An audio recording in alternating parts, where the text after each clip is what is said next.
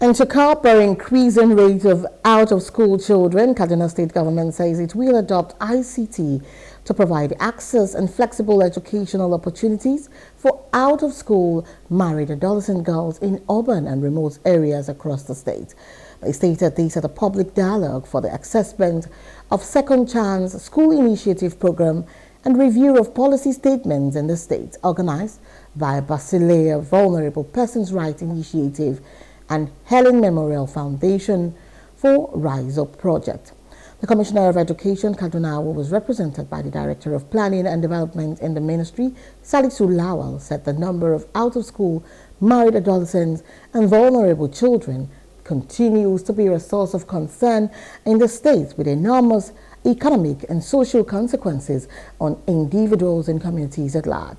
He stressed leveraging ICT to harness the full potential of access to education for all.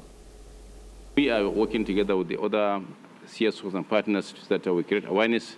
uh, among uh, heritage communities on the importance of uh, second chance education and its impact on the importance of education and second chance uh, policy uh, for husbands to allow their wives to enroll into, into schools. And uh, on the part of the government and the partners, uh, we are working um, towards uh, uh putting more funds or investing more on the um, procurement of uh, ICT devices and uh, training of teachers so that um, we want to fully digitalize education in Kaduna State. We want in the very near future to transit from manual to smart school in Kaduna State. Also, the Executive Director of Basileia Vulnerable Persons Rights Initiative, Jennifer Agbaji, harped on the need to review the Second Chance School Initiative program and advocacy for ICT remote learning for out-of-school married adolescents to improve their standard and economic life.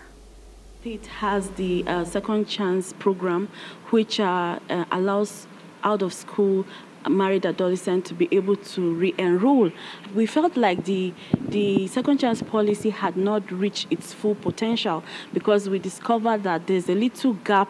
uh, in that uh, girls who were out of school that re-enrolled become second-time dropouts. So we decided to have a dialogue and see how can we have uh, the possibility to get that second chance uh, education program reviewed, especially section 6.2 to be reviewed to expand the options to include ICT uh, supported remote learning for married uh, adolescents. It has the ability for, for it to, you know, generate income through ICT uh, skills that they will learn is like a dual uh, function because